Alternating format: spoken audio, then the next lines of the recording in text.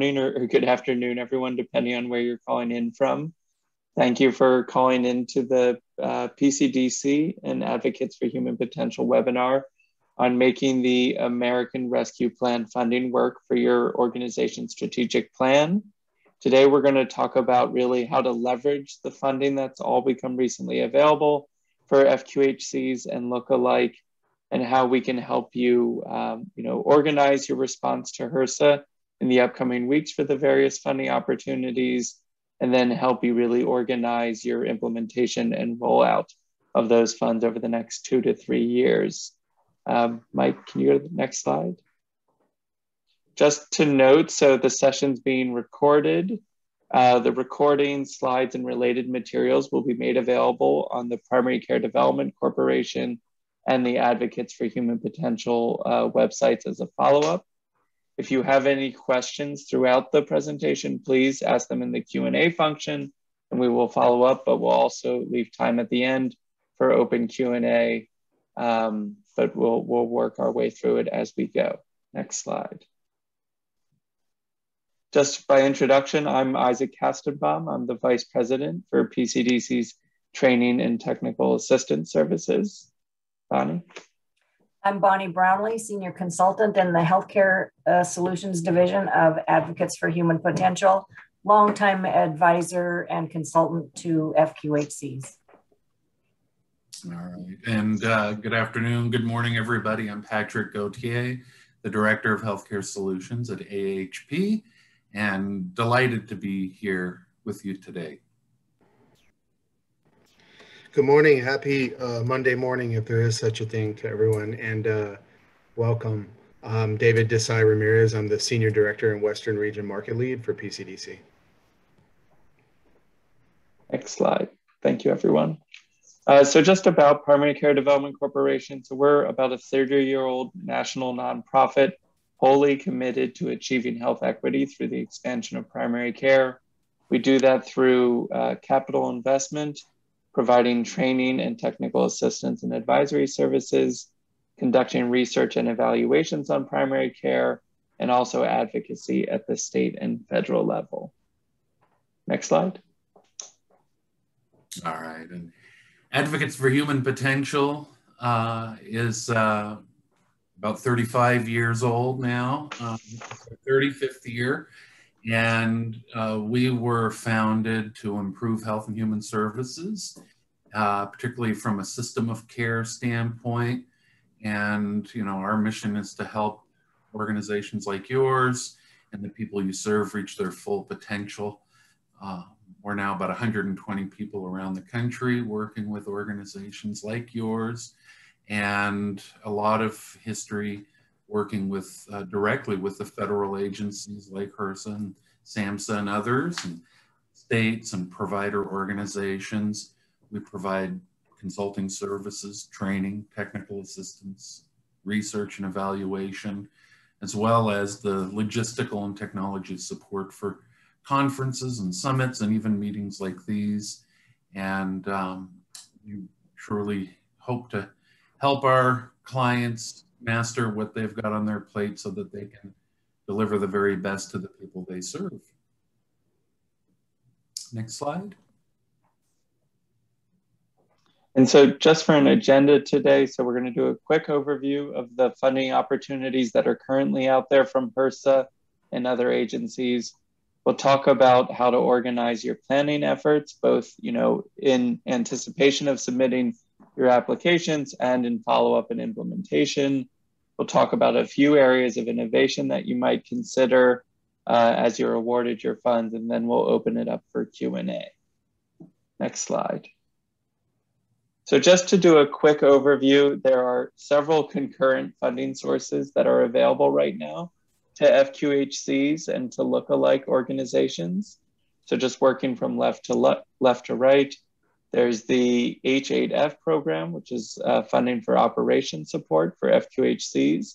There's its complementary program for lookalikes um, for operational support. There is a capital and construction improvement grant program for FQHCs. Uh, the FCC monies that have been made available for telehealth investments And then there's a new grant from HRSA on optimizing virtual care. Um, Mike, can you next slide? So just to put them all up against each other, they're, they're uh, similar in scope and function, but they have interesting nuances between them and all have different timelines for submission, uh, programmatic timelines for when you can use the funds, and, and different methods for submission. So again, starting from the left, the FQHC dollars, the H8F, only available for federally qualified health centers. Your application or really work plan for those is due a week from today via the HRSA electronic handbook process.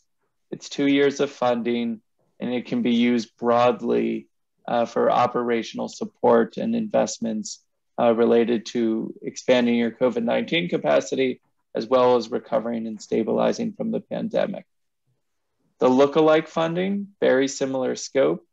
Uh, those applications were due via grants.gov about two weeks ago on the 14th, and they have a two year run rate for a two year period from July um, of 2021 to June of 2023. You then have the capital and construction program for FQHCs. Those applications are due on June 24th, again via the HRSA electronic handbook process. It's a three year period from this fall to the fall of 2024, with a real focus again on building capacity um, at your FQHC. And it has to really be related uh, to providing services within the health center program scope. The next was the FCC telehealth, really round two. There was an earlier round in 2020. This is to cover purchases made throughout the pandemic related to telehealth, and it's a direct reimbursement program it's not so much a grant. You, you submit for approval and then you submit your receipts or invoices for payment or reimbursement from the FCC as you go. And then the last is a recently released grant from HRSA for FQHCs, and it's about 25 total FQHCs across the country, really focusing on taking your virtual care to the next level and how you can make it a long term, high impact, sustainable program. Uh, those are due in mid July. And again, it, it's about a two year program starting about a, a year from now and continuing into 2024. All of the programs have the links at the bottom. If you have any questions, you can follow up with us and we'll make sure to address them or, or funnel you to the right people at HRSA or NACHC or, or other agencies. Next slide, please. I'm now going to hand it off to Bonni to talk about a, a, a good process of organizing yourself for your application and for the ongoing implementation work. Bonni? We hope you'll find it a good process anyway. Um, as these new funding streams became available and were announced in rapid succession, we thought, uh, how are health centers going to get organized around this? This is pretty overwhelming. So we started to pencil out some tools and decided that maybe these would actually be useful to you in getting organized around um, project selection and how to spend the money. Next slide, please. We know that your health centers have been overwhelmed in this past year as the pandemic unfolded and uh, you've been in full reactive mode. Well, now with a new infusion of money, um, it's really a great time to sit back, rethink, plan, and in some cases, reboot your services. Um, this new funding has a short two to three year time span. And uh, I think a careful strategy will really help you leverage the funding that's now available so you can achieve your goals. Next slide, please.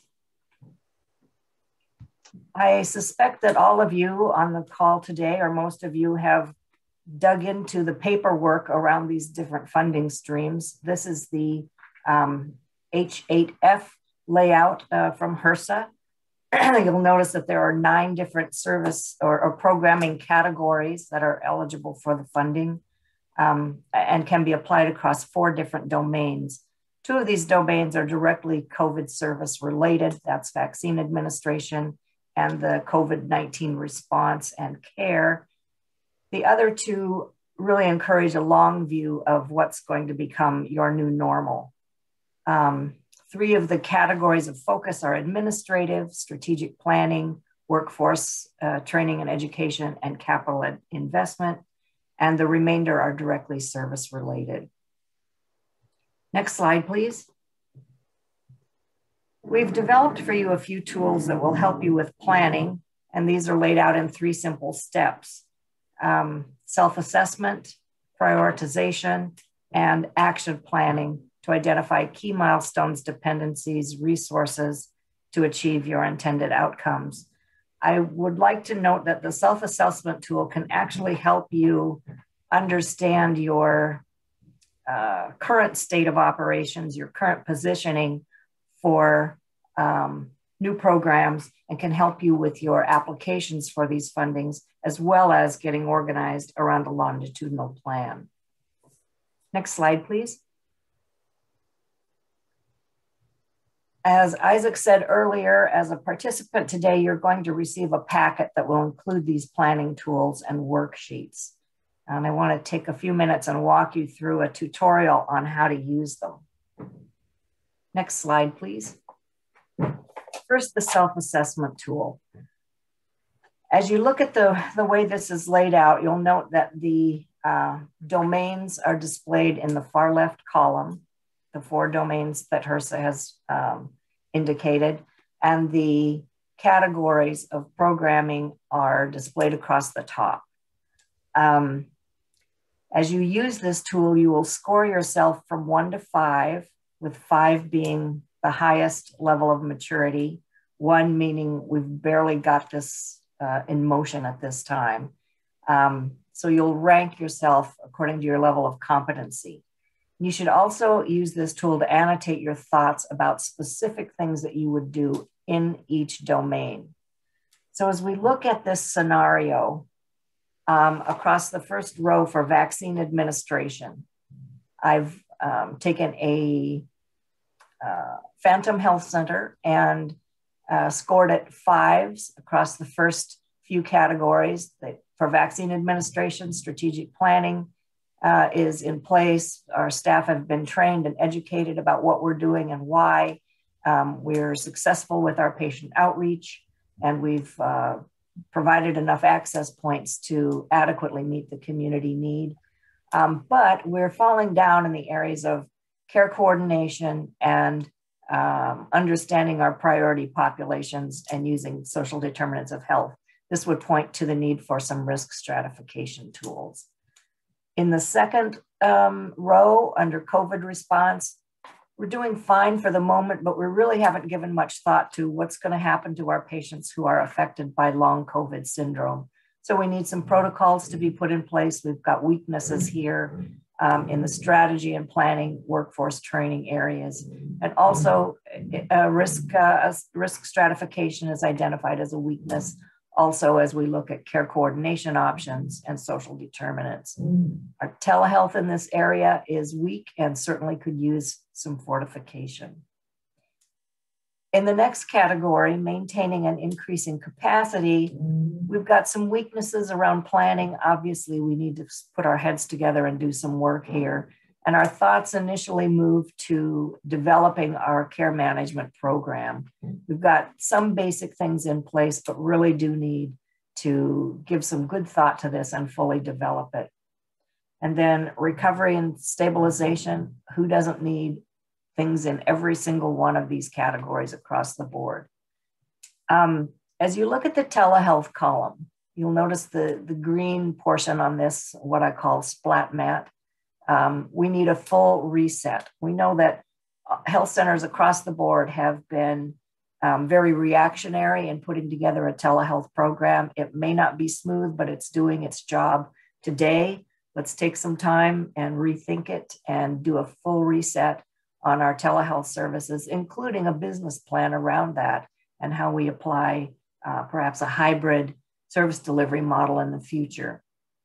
In the capital investment column to the far right of this tool, you'll see we've penciled in some concepts around maybe a mobile clinic would help us with our COVID response, um, our uh, capacity uh, to serve our patients and so forth. We know we need a telehealth platform that's um, more stable than the one we've been using, and we don't have a proper analytics tool to help us with risk stratification, and understanding social determinants of our various populations. We obviously need some space planning um, to occur to support the build out of our care coordination team and to more adequately um, uh, launch our new telehealth uh, modality. Next slide, please. From the self-assessment tool, you can move into this prioritization matrix um, by applying the scores and descriptors from the self-assessment worksheet. If you look at this, the way this is laid out, there are four different quadrants. Um, the first, uh, the first row, you would enter your high maturity scores anywhere that you've assessed yourself at a level four or five on the first row using the first column for um, to indicate items that require few resources or would be of low cost to the organization to implement. In the second column, you would enter anything that required a higher level of resources and a high cost. So this then becomes your decision matrix. So from the self-assessment tool, um, we've entered fives here for a variety of things, and that means we have all of these things covered. We're fine. Um, don't need additional resources thrown at these particular areas. Dropping down to the um, bottom row, where we have low maturity scores of one, two, or three, we've entered a few things here. Um, these, this would indicate that we can do this by ourselves, we think, but we might need some additional resources. So in COVID response, we had um, scored ourselves for uh, a level two for planning, training, and outreach for our long COVID syndrome protocols. Um, we've given ourselves a three for HIE implementation in COVID response capacity and um, recovery stabilization areas. A three was also noted for capital investments um, uh, for care management and telehealth, the analytics tools and the telehealth platform. We might be able to figure out uh, on our own how to um, select and acquire these items, but we might need help there as well. And the last item in this category is the capital investment for um, care management as well. So looking at the lower right column, you see most of our items from the self-assessment tool are displayed here. And these are areas where we know that we're going to need extra help in a variety of capacities. So with vaccine administration, care coordination, and social determinants of health, that risk stratification effort um, is something that really needs uh, another set of hands and eyes on. COVID response, care coordination, social determinants of health. You can see a theme going on here. Um, capacity, capital investment. We need some help with that. Um, uh, recovery and stabilization, how to regroup our telehealth protocols and develop a business plan for a hybrid, hybrid care delivery model. So that's how this prioritization matrix unfolds. Next slide, please. from our priorities list, we can um, then pick up this action planning tool and uh, put together a descriptor of action steps, milestones, responsibilities for each specific project we'd like to undertake. So you can see the top of this screen has been filled in with project descriptors, develop the care management program. That falls into the maintaining and increasing capacity domain. Um, under care coordination transitions and includes a capital investment overlay. So I've just uh, inserted a few milestones here, hire an RN uh, care manager, um, develop a risk stratification method. Uh, let's see what else is on here. Um, develop a liaison with the local hospital. This is for transitions of care and then some space planning concerns. And you can see across the board that um, dependencies have been identified, what, what resources are required, our source of funding is noted here, and then any barriers or concerns are also documented on this worksheet. as you begin to use this worksheet, you may need to expand it to larger than letter size because there are a lot of columns here. And I know that um, you probably will have a lot of notes. So that in a very whirlwind kind of snapshot um, is a layout of the three planning tools that we've provided or that we've developed and we think will um, be useful to you in your health centers. Next slide, please. I'll turn it over to Patrick now. Thank you. Go ahead on to the, the next slide, if you would, as we uh, wanted to point out just a few uh, areas, I'll cover a couple of them, that we think might benefit from uh, real concentrated effort, given the opportunity and the funding uh, sources, the variety of funding sources. And you've heard reference to it uh, several times already, telehealth. Uh, we really believe this is an area that uh, is going to require some uh, capacity building, some competency building, some workforce development, uh, if you will. Uh, you heard Bonni refer to hybrid sort of models of care and I think there's there may even be more to it than that. You know, I think we're all in the business of trying to maintain uh, fidelity to evidence-based practices. And what happens to our evidence-based practices when we begin to practice them on a telehealth platform and when we begin to practice them in a hybrid kind of way. So it, it I think begs the question, you know, who benefits from a hybrid approach? Uh, is it all patients or are there certain uh, groups within my patient population that are really going to benefit and under what circumstances? How do we help them close the digital divide? Is there something that we can do with some of this funding to supply tablets or Wi-Fi uh, and so forth? And, and how will we know when our uh, approach to uh, telehealth is or isn't working from quality indicators, from outcomes uh, kinds of indicators. What kinds of training do we need to provide our clinical staff as it relates to communicating on a digital platform for the long term? Uh, you know, I think you've you've heard it said now a few times. We did everything we could. We reacted, and I think we reacted brilliantly across the country in in adapting adopting telehealth, but where do we go from here? And will the billing and reimbursement continue to support these efforts? Uh, is there anything about our technology, uh, you know, were we to uh, continue uh, the way that we are that could help us gather the kinds of data that we need to evidence our outcomes and quality? Is there any integration with uh, our other IT that we should prioritize. So these are the kinds of things, whether it's workforce development, uh, the data uh, and technology dimension, uh, that we want you to be considering as you look at your plans moving forward. We'll go to the next slide. And here we wanted to talk about the other thing you heard Bonni uh, uh, highlighting, which is care coordination and how important that was before the pandemic and how important it is as we move forward.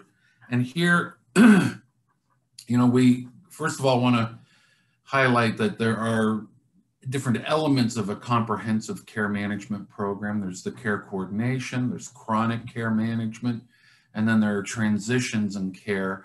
And to the extent that this is an opportunity for you to really reinforce what you're doing, uh, to add certain elements that you haven't had the time or the bandwidth uh, to add, the, uh, the staffing levels that might be needed to support some of these, the facilities and infrastructure that might be needed to support some of these. Now is the time to be thinking about that. Um, some of the questions uh, that we've laid out here, I'm not going to read them all to you, but they certainly can help uh, you better understand where you are, where you'd like to be in relationship to care coordination.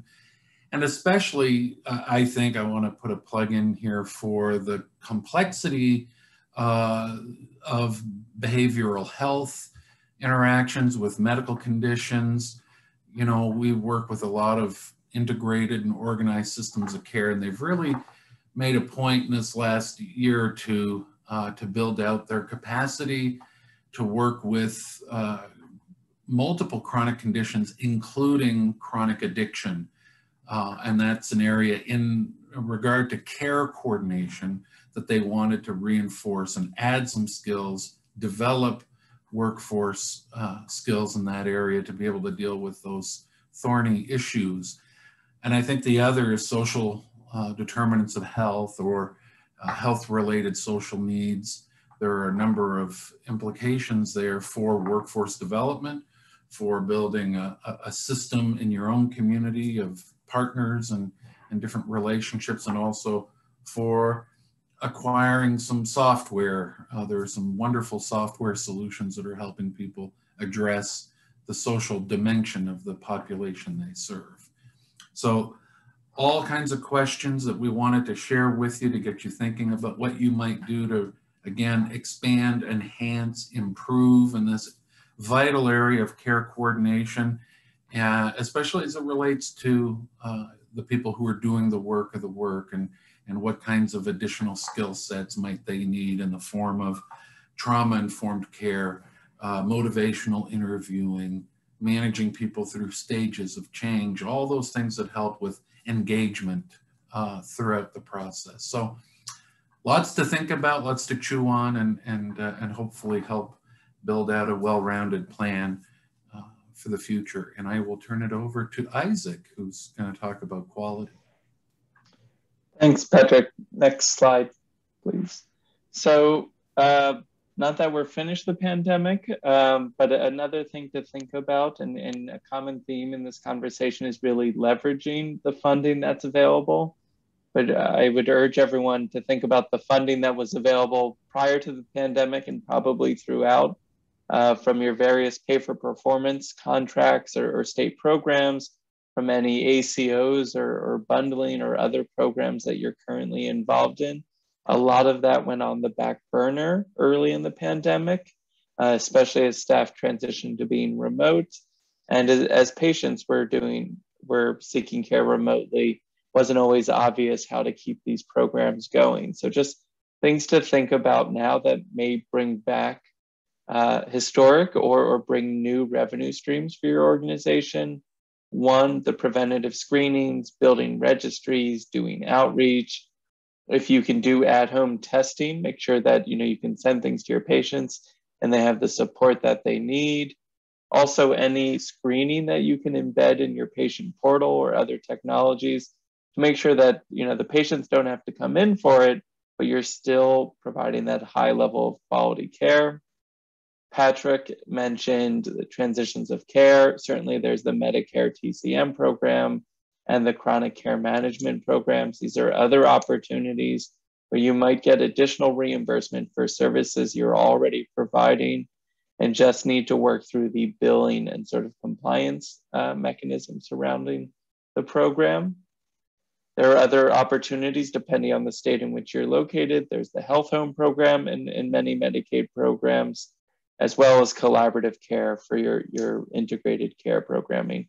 And again, common things that you know may have happened in, February of 2020 but have gone on the back burner. Think about any shared savings programs that you're involved in. Think about your MIPS reporting or your participation in alternate payment models. Look at your health plan contracts, and there may be opportunities for you to drive additional pay for performance payments, and then look at any state incentives. A number of states uh, had PCMH uh, incentives or rewards for maintaining that. And, and you should look at that again because it's a, a core way to supplement your patient care revenue. I'm now going to hand it off to David to talk about the sort of capital investment considerations uh, at this time in your planning process. David. Hey, thanks, Isaac. Um, so move to the next slide, please. So as we saw um, back on one of the early slides, um, fortunately, uh, there's many different sources of funding for as you think about capital investment. Um, we're really going to focus today on um, the CAD grant code, so the capital investments grant code within the ARP funding. And the reason for that is because um, you know the H8F funding, while capital investment and capital projects are allowed within in that, that one's a little more straightforward, and there's a cap at 500,000, and you can't really leverage that funding. So we're we're gonna really think about talk more specifically about on the next few slides the C8E grant code, the um, capital investment grant code, as it creates a little bit of complexity because um, you are allowed to leverage those funds.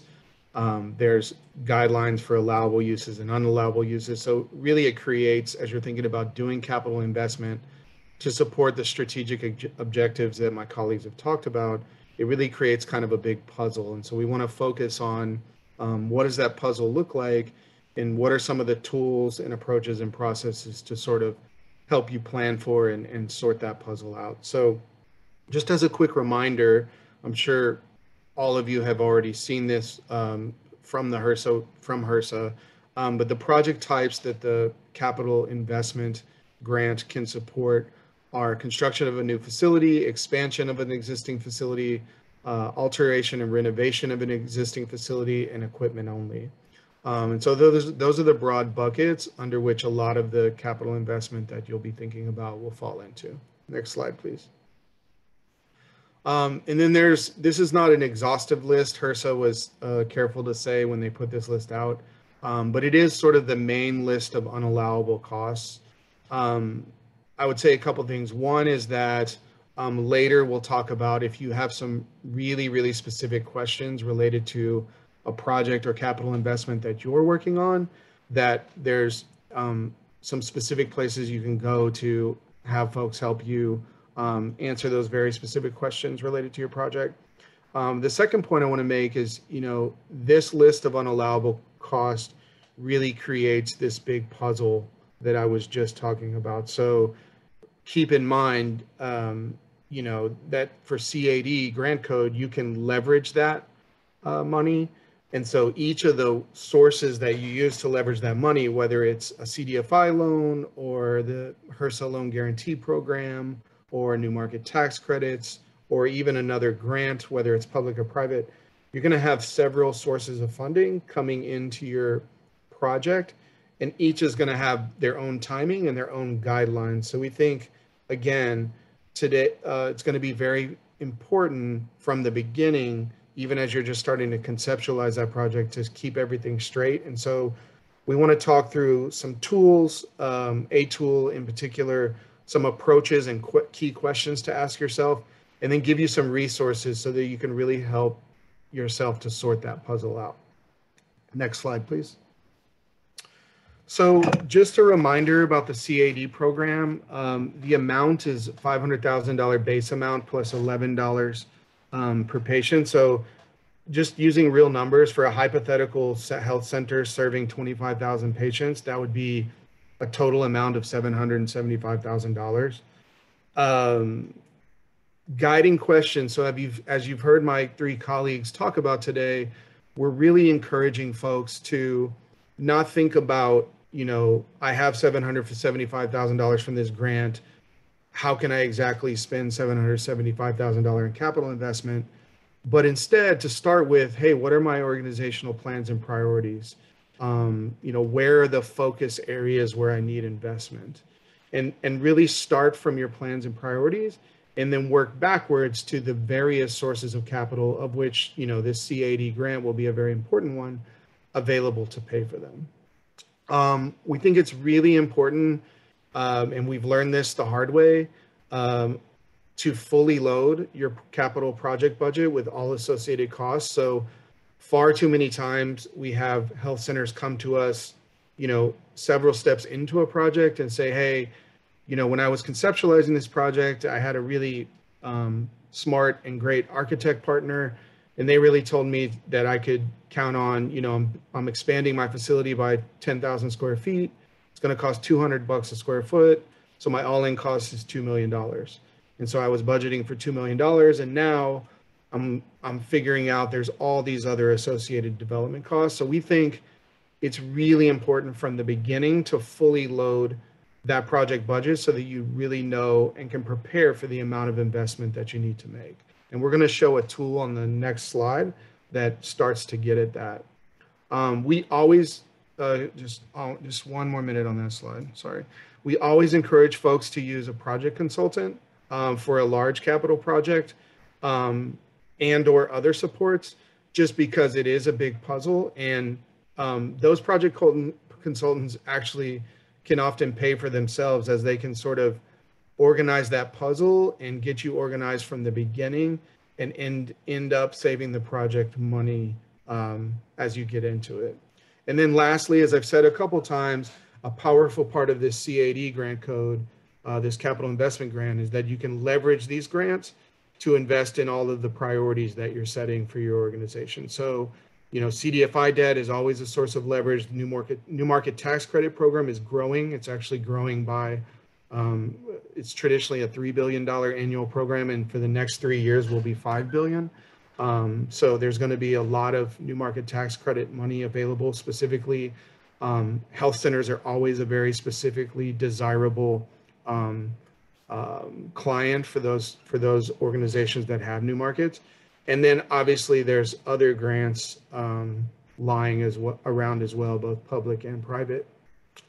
Next slide, please. So this is a tool. This tool is um, we know very straightforward, um, but we also know that it's very important. Um, I would say from from the very beginning of how you're uh, conceptualizing your project, it's very important to start to plan a, to fully load your project budget, as we talked about before. So thinking through sort of every line item, every different investment that you will have to make to do your capital expansion, but also across the columns to start thinking about what the different sources are um, to fund each of those those uses. So, for example, to use a hypothetical, the C8E grant cannot be used for land purchase and cannot be used for building purchase. So if you know that for your capital project, you're going to, you know, buy a, a shell of a building for half a million dollars, then you'll have to figure out and put in what put in the associated column here what other source of funding you'll use for that building purchase and then you know to be able to use this C8E grant um, for construction and construction related expenditures. So we know this tool is straightforward, but we would highly encourage you from the beginning as you're conceptualizing a project to start to think about your full list of capital investment costs in this way um, so that you can keep everything straight. Um, and, and frankly, you can save yourself money if you if you instead sort of start marching into the project and just say, well, you know, I, if I add up all the sources of funding in my head, but don't really start to allocate them. I know I have enough. We can figure out how to allocate them later. You know, we see clients getting into that situation and then having to pay for extra, very expensive hours for the accountant, very expensive hours for an attorney to sort of sort of sort that stuff out. So we think the more organized you can be from the beginning, um, not only will you uh, be able to keep it all straight and have better planning and execution, but we do think you can save yourself money um, over the life of the project. Next slide, please. So um, I want to talk about one anecdote, and this is a real anecdote from a health center that uh, we are talking to. And a point I want to make is you're going to hear when you look at HRSA's materials or you talk to other organizations about this, um, about these grant programs, you're going to hear a lot about how you can't leverage H8F against C8E. So you can't leverage one of the HRSA loan programs against each other.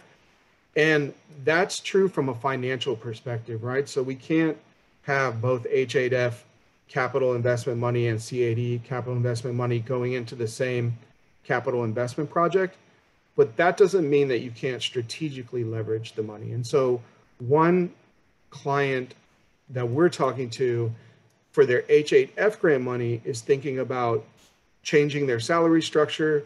Um, they know they need to pay a little more and have a little bit more um, desirable benefit and incentive structure in order to drive recruitment and retention of staff.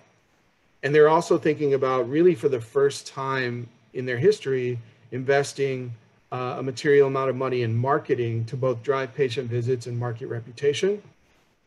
And with their C8E money, they're using a state grant that they got, they're leveraging it with CDFI debt and the C8E grant, and they're going to do state of the art clinic renovations at their main site. Um, and so you can imagine how doing a renovation where you're bringing your clinic up to state of the art standard goes really well with strategically with investments that you're making in marketing and um, investments that you're making in recruiting and retention. So we just want to again encourage you as you're planning and thinking about the future to not let compliance uh, hurdles or guidelines look at them as sort of like again a way a way puzzle pieces to fit together so that you can strategically plan and execute um, what's best for your center and your patients over the medium and long term. Next slide, please. Next slide, please. So just some quick reminders, uh, materials um, due to HRSA in, you know, in the next few months, but the project uh, periods, which you saw in our, our, one of our early really summary slides is the next two to three years. Um, it's unlikely there will be other comparable funding sources. So this is a really unique and timely opportunity. Um, again, we hope that we've reiterated several times throughout, use the funding not only to address your challenges, but really propel your organization forward on plans you had pre-pandemic and or new efforts that improve your access, quality, and financial resiliency. Um, you know, we had a brief conversation with our friends at NACHC on Friday in, in the training and technical assistance group and they echoed i would say they echoed this third bullet they're really encouraging um, centers to bolster their administrative infrastructure and accounting infrastructure um, to be able to absorb and sort of track and use these ARP funds. Um, and they're also encouraging folks to um, think about things like quality and care coordination and really move, really use this investment um, to move toward value-based care and contracting. So I think um, you know, sort of all of the stakeholders in the industry are are encouraging clinics to to think forward and and um, dream big, if you will, about how, how you can use this money. And then lastly, we hope that the tools you provided, while straightforward, um, can really help structure your conversations internally as you start to think about how you're going to prioritize and how you're going to um, uh, put the puzzle together and how you're going to strategically leverage the investments that you're making. Next slide, please. So there's a lot here. There's a lot in this presentation. There's a lot on the HRSA website. You know, there's webinars coming out all the time on these funding opportunities and how folks can plan and execute them. And so we wanted to just provide a pretty a simple list from our perspective of, you know, between now and when you submit, you know, either the H8F grant or the capital grant, or after you submit, like who can you call for what? And so if you're thinking about assessing your organization and prioritizing it and planning investments, please call us. Um, we're happy to help you talk through and think through that. Um, if you're thinking about tools and information to prepare you for a capital project, um, call PCDC. We're happy to spend some time with you to um, hopefully elevate what we've seen historically as key risks um, at the front end of a project or just help you think through some of the big questions you should be asking yourself as you're planning and executing a project. You have specific, very specific grant related questions, um, HRSA actually has some really, really good um, materials. I actually watched one of the HRSA webinars myself and found it to be really helpful, not only in the information that they provided, um, but also in the sort of places that they point you to to ask even more specific questions about your particular situation. So again, back to the link on one of the early slides, there's some, there's two particularly good webinars that you can watch about the two, um, the several HRSA grant programs. Um, again, we highly encourage you to think about a project consultant. Um, it is an investment, but it we've seen time and again that it ends up saving you time and headache. And frankly, you know, you have a full-time job of providing a full-time, very challenging job of providing, you know, high high quality, comprehensive care. Um, you know, real estate development, capital investment, these are sort of um, things that it often makes a lot of sense to get uh, support on. Um, and then again, as you put that puzzle together, um, as you start to put that puzzle together, we fully encourage you early to get your accounting and finance team involved um, so that as you're tracking those expenses across those categories, um, you're staying organized throughout and you know making it easier to stay in compliance, making it easier to track your dollars, et cetera. And then again, we know you're doing a lot. We know you were doing a lot before COVID. We know you're doing a lot during and we'll be doing a lot after. So any questions you have on clinical and operational support, um, we're always here to help you think through those as well. Next slide, please.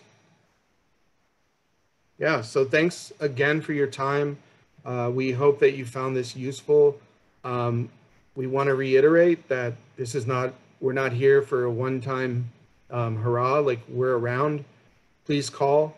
Um, we're we know that there's some complexity and this is an important uh, point in planning and executing for the future and we are happy to help. So um, whatever questions you have now, um, we can, um, I think we're going to do a question and answer now. And then whatever questions and answers you happen to have after this, please don't hesitate to reach out. Thanks, David. So I guess if anyone has any questions, you can either throw them in the Q&A function in Zoom, or you can raise your hand uh, and our colleague Mike can unmute you. Um, Mike, if you go to the next slide, that's the one with our email on it. Yeah, it, and if you don't have questions during the webinar, but it, it comes up as a follow-up, you can always reach out to us. PCDC, we're sort of funneling the answers, but we'll work closely with Bonni and Patrick to make sure you get the, the best possible and, and most efficient response. So I'll give it a minute if there are any questions now.